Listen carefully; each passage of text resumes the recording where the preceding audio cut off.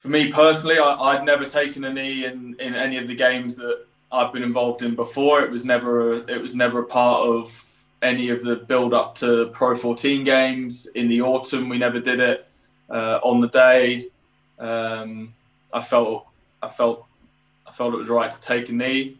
Um, at the same time, could also have stood like many of my uh, many of my the other players and teammates did, um, and just had that moment of reflection. I feel like there's different ways to to do that.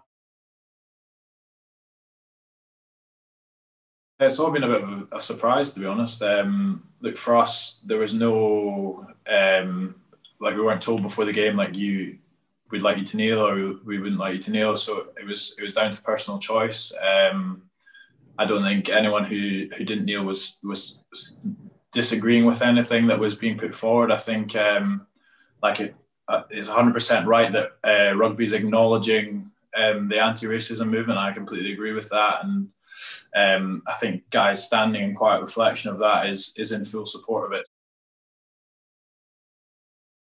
you can't please everyone. I think um, it's such a polarizing argument uh, whether to kneel or not to kneel, and who agrees and doesn't. I think um, it's as I say, it's difficult to please everyone. So and social media is a can be a pretty vile place at times, and and like guys are used to it and they know how to deal with it. So uh, no, it's not really been stung. I think it's not it's certainly not taken away from from how special that day was for everyone involved. So uh, it's just one of those things. Unfortunately, it comes with comes with the texture of being in the limelight and playing pro sport.